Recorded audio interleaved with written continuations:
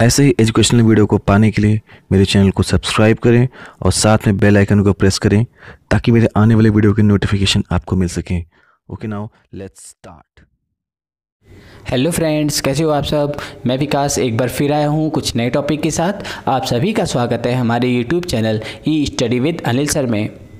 दोस्तों, जैसा कि आप जानते हैं, अभी हम लोग वर्ल्ड जोग्राफ़ी यानी कि विश्व का भूगोल पढ़ रहे हैं। और वर्ल्ड जोग्राफ़ी के इस सफ़र में हमने बहुत सारे इंपॉर्टेंट लेक्चर्स को पहले ही पढ़ लिया है। तो जिन दोस्तों ने अभी तक हमारे उन सभी वीडियोज़ को नहीं देखा है तो आप हमारे इसी चैनल के playlist geography by Vikas sir में जाकर उन सभी वीडियोज़ को देख सकते हैं। खैर, आज हम पढ़ने वाले हैं अपने अगले टॉपिक को। आज का टॉपिक होगा वन, जिसे हम लोग फॉरेस्ट के नाम से भी जानते हैं। तो चलिए दोस्तों, शुरू करते हैं अपने आज के लेक्चर को, वो भी बिना किसी देरी के। किसी भी क्षेत्र में स्वतः उगने वाले वृक्ष, पौधे और घास की सघनता को वन कहते हैं। तो दोस्तों, अगर आपसे कोई पूछे कि वन की क्या परिभाषा है तो आपको बताना है कि किसी भी क्षेत्र में स्वतः उगने वाले वृक्ष, पौधे और घास की सघनता को वन कहते हैं। दोस्तों, प्रारंभिक अवस्था में पृथ्वी का करीब 75 परसेंट भाग वनों से ढका हुआ था, लेकिन बढ़ती जनसंख्या और कृषि के विकास के कारण अब पृथ्वी पर करीब 30 परसेंट भाग पर वन रह गए हैं। तो दोस्तों, ये भी आपको ध्यान रखना है कि जब पहले, बहुत पहले की बात बता रहे हैं, जब पृथ्वी पर केवल जानवर रहते थे, मानव नहीं रहते थे, उस समय पचहत्तर प्रतिशत भाग वनों से ढका होता था। लेकिन जैसे जैसे जनसंख्या बढ़ती चली गई और डेवलपमेंट होना शुरू हो गया वैसे वैसे आज के समय में केवल 30 प्रतिशत भाग पर वन रह गए हैं। अब दोस्तों देखते हैं वनों के प्रकार। वन कितने प्रकार के होते हैं, अब हम ये देखेंगे। तो वन कई तरीके से होते हैं। पहले नंबर पे हम लोग देखते हैं विश्वत रेखीय उषणाद्र या सदाबहार वन।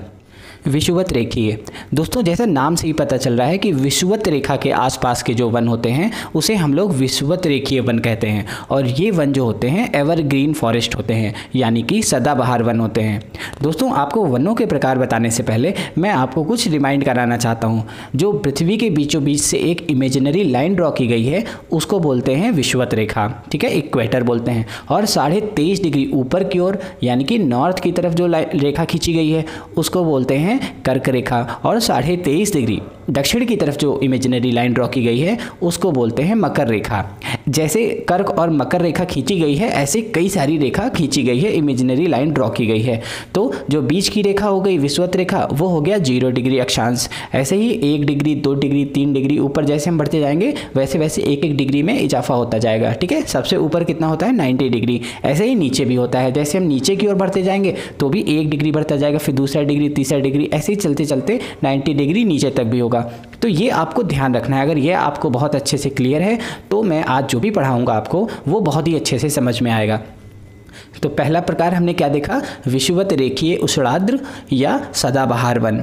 दोस्तों, जैसा नाम से ही पता चल रहा है विश्ववत रेखा। चलो देखते हैं इसके अंदर क्या लिखा हुआ है। ये वन पाँच डिग्री उत्तर तथा पाँच डिग्री दक्षिण अक्षांशों के मध्य उष्ण कटिबंधीय क्षेत्रों में पाए जाते हैं। और ये हमेशा घने और सदाहरित होते हैं। क्यों होते हैं? क्योंकि इसमें ऊँचे तापमान और साल भर वर्षा होती रहती है। ठीक है दोस्तों तो अगर मैं आपको मैप के थ्रू अगर बताने का कोशिश करूँ तो वहाँ, यहाँ पे हम क्या देख रहे हैं कि जैसे ये हमारा अर्थ है, ओके?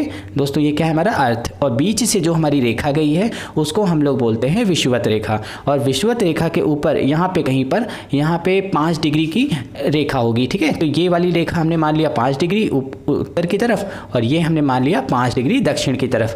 तो ये जो पूरा एरिया होगा, ठीक है, यही हमारा सदाबहार वन कहलाता है या फिर विश्वत रेखीय उषलाद्र वन कहलाता है, ठीक है। इसमें क्या होते हैं दोस्तों विश्वत रेखा पे सूर्य की जो किरण होती है वो बहुत ही तीव्र पड़ती है।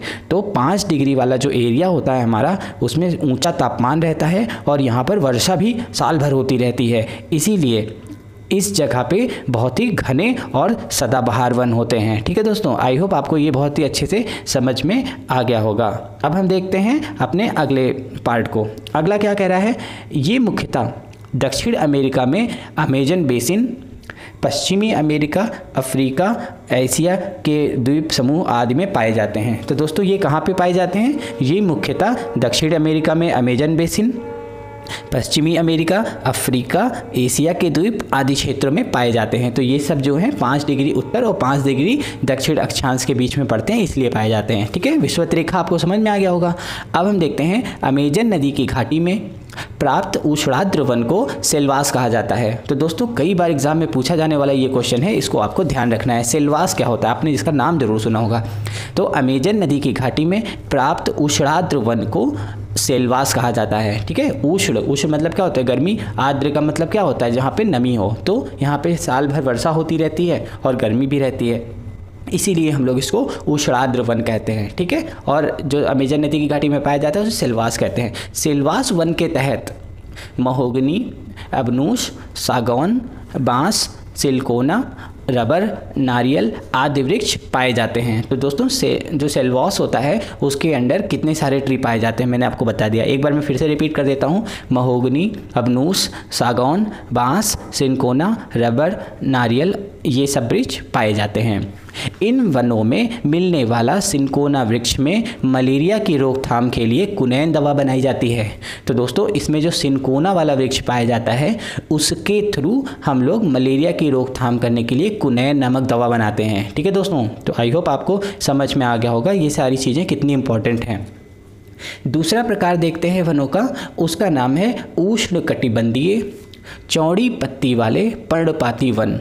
जिसको हम लोग मानसून वन भी कहते हैं। ठीक है? क्या नाम है इसका? उष्ण कटिबंधीय चौड़ी पत्ती वाले पर्णपाती वन, जिसको मानसून वन के नाम से भी जाना जाता है। ये वन भूमध्य रेखा के दोनों ओर महाद्वीपीय भागों में पाँच डिग्री से लेकर तीस डिग्री तथा दक्षिणी अक्षांशों में के मध्य फैले हुए हैं। तो दोस्तों, पाँच डिग्री उत्तर से पाँच डिग्री से लेकर थर्टी डिग्री तक। अगर मैं आपको इसको भी इमेज के माध्यम से बताना चाहूँ तो जैसे ये हमारा अर्थ है, अभी मैंने आपको बताया था कि ये हमारा क्या है, विश्वत रेखा है, और ये हमारा पाँच डिग्री की रेखा है। अब हम पाँच डिग्री से थर्टी डिग्री की तरफ़ जाएँगे, ये जो रेखा है, ठीक है? यहाँ पे क्या है दोस्तों? थर्टी, ठीक? और यहाँ पर भी क्या है? थर्टी, और ये हमारा था फाइव डिग्री। तो फाइव डिग्री से लेकर थर्टी डिग्री के बीच में जो पाया जाता है एरिया, ओके? उसको हम लोग कहते हैं उष्ण कटिबंधीय एरिया ठीक है? यहाँ पे उष्ण कटिबंधीय चौड़ी पत्ती वाले पड़पाती वन या फिर मानसून वन कहते हैं, वो पाए जाते हैं यहाँ पे। आई होप आपको समझ में आ रहा होगा। इन क्षेत्रों में पाए जाने वाले वृक्ष ग्रीष्म ऋतु में पत्तियाँ गिरा देते हैं, इसीलिए इन्हें पतझड़ वन भी कहते हैं। ठीक है दोस्तों? ग्रीष्म ऋतु में ये क्या करते हैं? अपनी पत्तियाँ गिरा देते हैं और इसीलिए इन्हें पतझड़ वन भी कहते हैं। पत्ती चौड़ी होने के कारण चौड़ी पत्ती वन कहते हैं इसको, तथा मानसूनी जलवायु में स्थित होने के कारण इन्हें मानसूनी वन कहते हैं। तो दोस्तों, नाम से ही सब कुछ स्पष्ट हो जाता है। ठीक है चौड़ी पत्ती वाले वन क्यों कहा गया? क्योंकि इनकी जो पत्तियाँ होती हैं, वो बहुत ही ज़्यादा चौड़ी होती हैं, और मानसूनी वन इसलिए कहते हैं क्योंकि ये मानसूनी जलवायु में भी स्थित रहती हैं। ठीक है, ये मानसूनी वन एशिया में 150 सेंटीमीटर से लेकर 200 सेंटीमीटर तक के वर्षा वाले वृक्ष, वर्षा वाले क्षेत्रों में उगते हैं। तो ये वाले जो वन होते हैं, वह कहाँ पे उगते हैं? ऐसी जगह पे उगते हैं, जहाँ पर 150 सेंटीमीटर से लेकर 200 सेंटीमीटर तक का वर्षा होती है। इसमें उगने वाले प्रमुख वृक्ष हैं साल, शीशम, सागवान, आम, महोगनी, चंदन और देवदार। ये सब इनके प्रमुख वृक्ष हैं, जो कि उष्ण कटिबंधीय चौड़ी पत्ती वाले पर्णपाती वन कहलाते हैं। ठीक है, अब हम तीसरा देखते हैं, भूमध्य सागरीय वन। इसको हम लोग शीतोष्ण कटिबंधीय चौड़ी पत्ती वाले शुष्क और सदापर्णी वन कहते हैं। इसको हम लोग विश्वत रेखीय वन भी कहते हैं। तो चलिए दोस्तों, यहाँ पे हम क्या देखने जा रहे हैं? ये वन 30 डिग्री से लेकर 45 डिग्री अक्षांशों के मध्य महाद्वीपों के पश्चिमी भागों में पाए जाते हैं।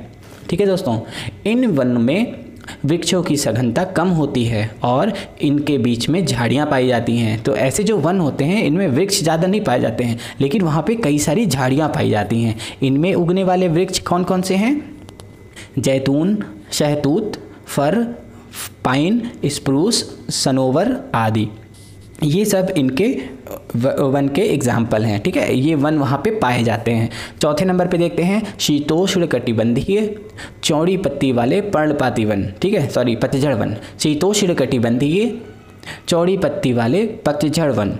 ये वन उत्तरी गोलार्ध में 40 डिग्री से लेकर 50 डिग्री अक्षांशों के बीच में पाए जाते हैं। 40 से 50 डिग्री अक्षांश के बीच में पाए जाते हैं दोस्तों ये।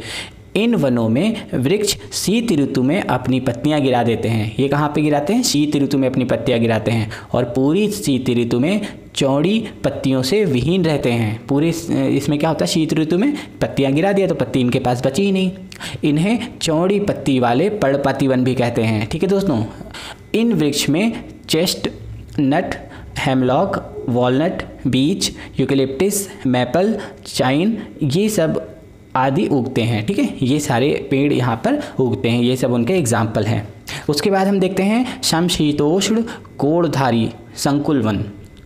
ये वन 50 डिग्री से लेकर 70 डिग्री उत्तरी अक्षांशों के बीच में उत्तरी अमेरिका तथा यूरेशिया के उत्तरी भागों में मिलती है। ठीक है दोस्तों, ये कहाँ पे मिलते हैं? ऐसे वन जो होते हैं 50 डिग्री से लेकर 70 डिग्री उत्तरी अक्षांशों के बीच में दोस्तों। ठीक है? उत्तरी अमेरिका और यूरोशिया के उत्तरी भागों में मिलते हैं। ये समुद्र तल से 1500 से 2000 मीटर तक की ऊंचाई पर स्थित होते हैं।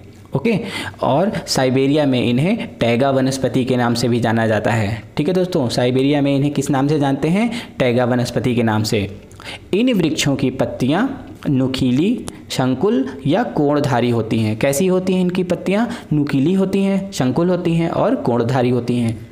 इनमें चीड़, fir, spruce hemlock birch spider cypress और ब्लू पाइन आदि वृक्ष पाए जाते हैं। तो ये सारे इनके वृक्ष के एग्ज़ाम्पल हैं जो यहाँ पर पाए जाते हैं।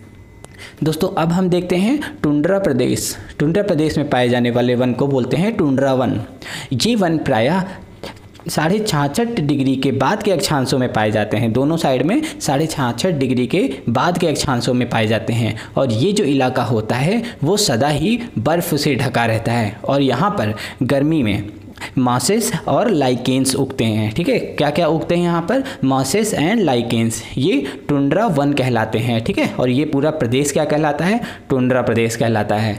तो दोस्तों आई होप अब आपको सारी चीज़ें फॉरेस्ट के जितने भी टाइप्स मैंने आपको बताए, आपको बहुत अच्छे से समझ में आ गया होगा। अगर आपको अभी भी कोई कन्फ्यूज़न है, ऐसी कोई चीज़ है जो आपको नहीं समझ में आई है तो आप कमेंट के माध्यम से हमसे पूछ सकते हैं, ठीक है दोस्तों?